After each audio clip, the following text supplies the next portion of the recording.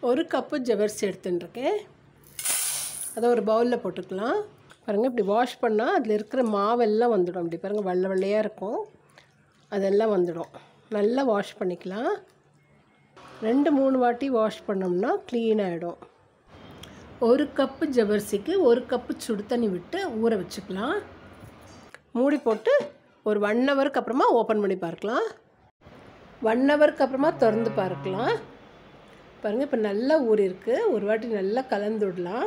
பாருங்கள் இப்போ நல்லா கெட்டியாக வந்திருக்கு பார்த்தீங்களா உருட்ட முடியறது. ஜவ்வரிசி இந்த ஸ்டேஜில் இருக்கணும். இப்படி உருட்டுற ஸ்டேஜில் இருக்கணும் ஜவ்வரிசி.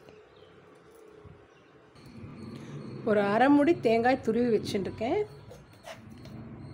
அதில் கொஞ்சமாக சர்க்கரை தூவிடலாம்.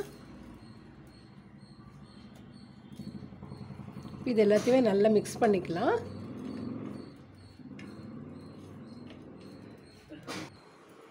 ஒரு இட்லி பாத்திரத்து மேலே இப்படி ஒரு ஈர துணி போட்டு ரெடியாக வச்சுக்கலாம்.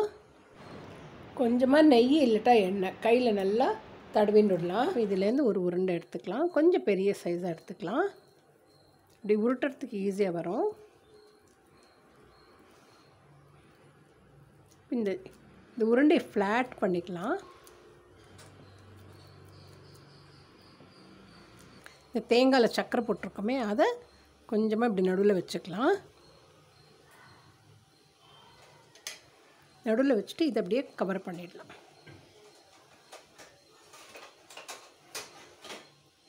க்ளீனாக கவர் பண்ணிடலாம். முள்ளமாக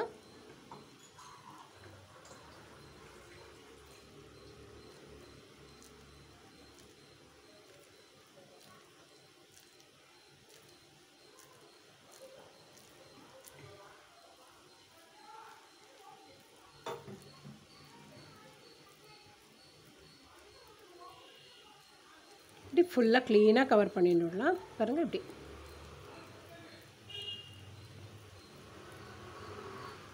ஜவ்வரிசி உருண்டையை இட்லி பிளேட்டில் வச்சுடலாம். இன்னொன்று காட்டுறேன். நம்ம நெய் தொட்டுக்கலன்னா தண்ணி கூட தொட்டுக்கலாம். இப்படி தண்ணி இப்படி கையில் பண்ணிட்டு இந்த உருண்டை எடுத்து நம்ம கையில் நல்லா ஃப்ளாட்டாக பண்ணிக்கணும். நல்லா ஃப்ளாட்டாக பண்ணிக்கணும்.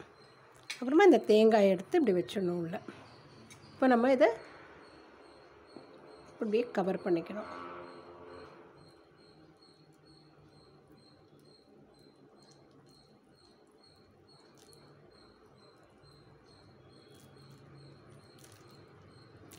இப்படி க்ளீனாக இப்படி கவர் பண்ணிகிட்டே வந்துட்டால் க்ளீனாக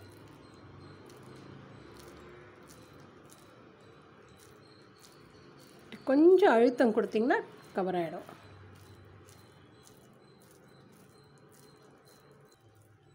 அவ்வளோதான் இந்த மாதிரி எல்லாத்தையுமே பண்ணிவிடலாம் பாருங்கள் இப்படி எல்லாத்தையும் ரெடி பண்ணிட்டுருக்கேன் இப்போ நம்ம இதை ஆவியில் வச்சு எடுத்துடலாம்.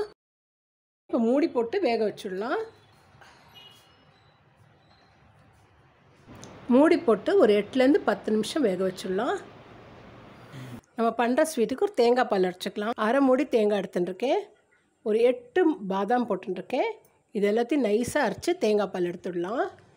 இப்போ அரைச்ச தேங்காயை ஃபில்ட்ரு பண்ணிக்கலாம்.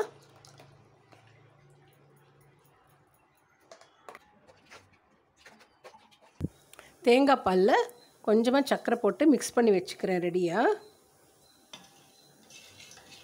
இதில் வெல்லமும் போட்டுக்கலாம் வேணும்னா. திறந்து பறக்கலாம் ஆ எவ்வளோ நல்லா வெந்திருக்கு பாருங்கள் நல்லா முத்து முத்தாக வெந்திருக்கு பாருங்கள் இன்னும் க்ளோஸில் காட்டுறேன்.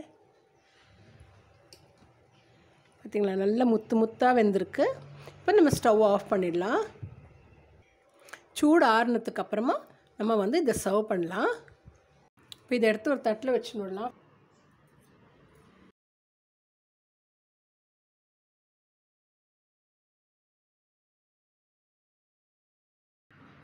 பாருங்கள் சூப்பராக வந்திருக்கு. இப்போ இதை தேங்காய் பால் கூட சர்வ் பண்ணிடலாம். உள்ளே க்ளீனாக ஃபில்லிங்ஸ் தெரியறது பாருங்கள் இப்படி வச்சுட்டு நம்ம தேங்காய் பால் பண்ணியிருக்கோமே தேங்காய் பாலில் சர்வ் பண்ணிடலாம்.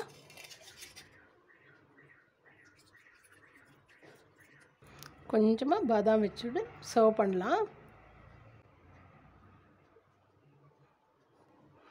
ரொம்ப ஹெல்த்தியாக சம்மருக்கு இப்படி பண்ணி கொடுத்தீங்கன்னா குழந்தைங்களுக்கு ரொம்ப நல்லாயிருக்கும் ரொம்ப தணுப்பு தேங்காய் பால் வயிற்றில் இருக்கிற புண்ணெல்லாம் ஆ- ஆற வைக்கும்.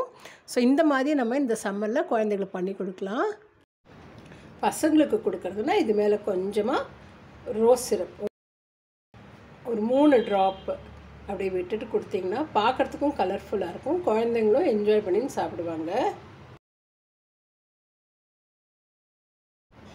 எல்லோரும் ஒரு வாட்டி கண்டிப்பாக ட்ரை பண்ணி பார்த்து எப்படி இருக்குன்னு கமெண்ட்ஸ் போடுறதுக்கு மறக்காதீங்க.